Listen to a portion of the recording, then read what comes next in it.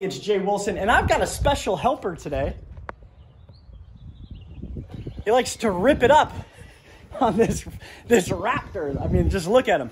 But we're gonna be doing a little bit of maintenance on the FX6. He loves doing that. We'll get that all cleaned up, and he wanted to cut some shapes, basically triangles and squares, out of some polyfill just to put in the filter. So we're gonna allow him to do that. We'll get that FX6 off. We'll take off a couple pieces of equipment in preparation for the Congo River tank. Are you ready, dude?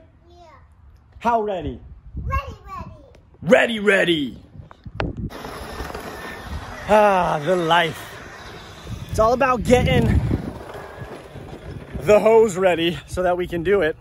This is his favorite part, I think. I don't think he likes taking it apart or anything, but as long as he knows what filter maintenance is, and for the most part he's happy doing it, well, then that's all that matters. But he wanted me to show you this. Go fast. Fast, really fast.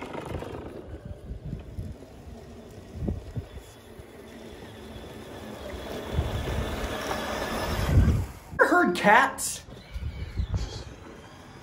It's like hurting a cat. Come on, we gotta go do the filter. Are you stuck? Did anybody just see that vulture fly by? Makes me concerned. Okay, we're gonna go do the filter. A bird pooped on my head last time. Oh yeah? Yeah. Oh, the door's locked. Lesson to yourself. If you're gonna use the front door and go out the garage, unlock the front door.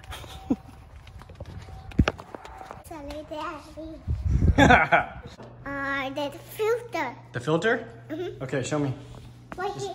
Uh, is it this one, I think? Okay, so what do we gotta do? Turn the power off first? Yeah. Okay, and then what? And we put it in the tank. And then we disconnect it from the tank, good. Yeah. And then what?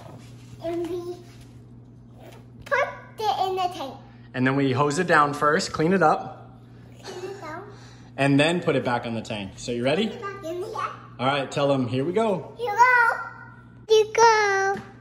Hi everyone, Liam's holding the camera.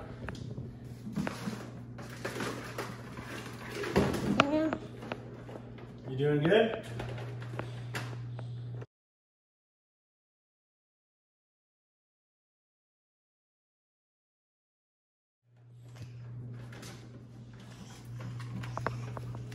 It's Daddy filling the tank. And I'm just Liam. And I watch the fish. The fishies. All right, you ready? Let's turn the camera off. Okay, so we've got it disconnected. It was very hard getting it outside and trying to wrangle somebody. So what are we doing now? Daddy, Yeah. This stuff on my mark. This but I need to put this in here so I Okay. can do it. Okay. Daddy's gonna do the filter, okay? So just normal maintenance, right? Nothing crazy. We just wanna check the filter. It hasn't been done in a while. And it's done on the bio, so, So- let, me, let me hold the camera. Okay, hold it right here. Okay, hold it right there and point to daddy, okay? You and that. You. Yeah. You are going to fit the eight. And while it goes out, my and my master too. There's somebody at the bottom. Yeah. Show the water right there. That's what they're in for. Somebody, somebody doesn't do it. All right, let me see. We already put this product in our other canister filter, and we didn't show it on camera, but I wanted to show you it is empty. It's called Max Out Pro. Uh, Max out pro. whoa, you want to say that serious? Yeah. Max out pro. It's Max Out Pro, and then go woo. No, show them to the camera. Oh no, we're done. We are done. So let's go finish this up, and then we'll pick up by putting it back on. And really gotta clean this thing. Don't let your canister filters go this long because you got to check the impellers, you got to check the pumps, you got to do all the maintenance, and uh, no excuses. But don't be like me in this situation. Are you ready? Yeah. Okay, he's ready. Let's go finish cleaning. So, what are you doing? That's the beetle. Oh, there's a beetle? Okay, let's leave the beetle alone. You got, what are you doing? What are you spraying? Yeah. The food order. Okay. Awesome. Thank you. So he likes spraying, but we added his little little shapes. Uh, we're just gonna do it. It's not gonna harm anything. There's a lot of bypass in it, but there's a foam piece underneath, which is okay. And we're not really doing a lot of, we're not taking the foam pieces out. We're just raising them up just a little bit to clean them because it's been like this. Look at that, nasty. Whew. But it's been like this for so long. Well, thanks for the warning. That we don't want to disrupt everything, right? We still want the fish to feel like they've been in there, in their habitat, and it wasn't disrupted as much. So let's finish this up and then we'll get it back on the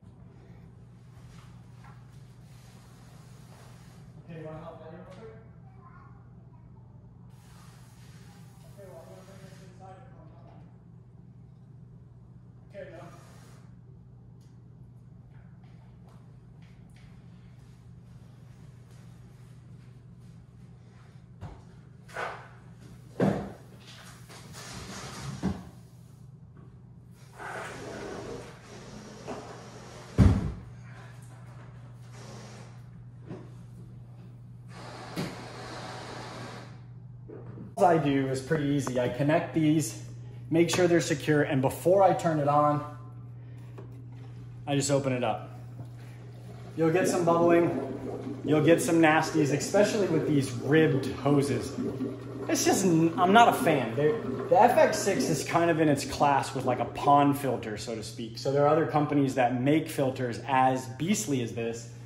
They're just more of a pond filter. Uh, but when the FX6 markets itself as an aquarium filter, that's where you get some of these pond-like features, the quick disconnect, all that, the, the drain. I shouldn't even say quick disconnect because there really isn't one.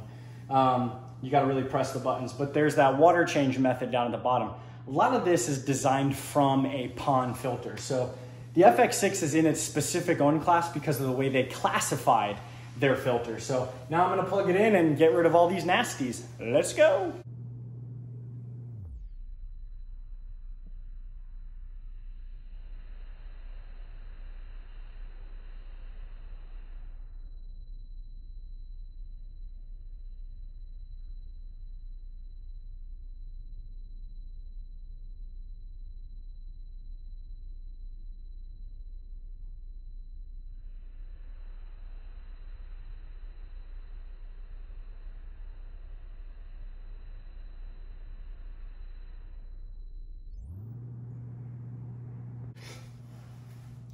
All right, so I've been procrastinating and I ultimately got to get all of the equipment off of this and put it on the aquarium that you are kind of standing on. This is the Congo River Basin tank. This will be the new vivarium. So there is a Fluval FX6 that is disconnected and I have to get rid of this power head. This power head, first of all, this kind of stinks. And the pivoting head is not good. I had to adjust it. I haven't, I think I had it like a year, year and a half when it was being used. Uh, just a, it's it works, but whatever. It it doesn't stay where I want it to, and I'll show you what I'm talking about. So it, I don't know if it's the design or what, but this piece right here is so easy to take off that it just doesn't seem to work for me. Maintenance is done. That was easy. It was 30 minutes. Little dude helped me. He's still spraying. I can see him right there. But FX6 is on we cleaned it up. We've got Max out in there, as Liam said. We took the Hydor power head off there. Um, if anybody's watching this and they're local, you can have it. It's meh. But the Vivarium is in the process. I've got confirmation on substrate and flowers and picking those plants out. And then I'm gonna get the sand out. I keep saying that and put it in here, but time slips away really fast. So I've gotta go. I've gotta go play with my dude and we're about to have some awesome time and you stay tuned to Wednesday so that you can enjoy a live video. So if you have any questions about your aquarium and it's not an emergency, come on Wednesday, 7 Central, 8 Eastern, and ask those questions. It's a perfect opportunity to get real good insight from not just me, but a bunch of other people that are inside that live chat room. So I'll see you there. Thank you so much for watching. You know what's next.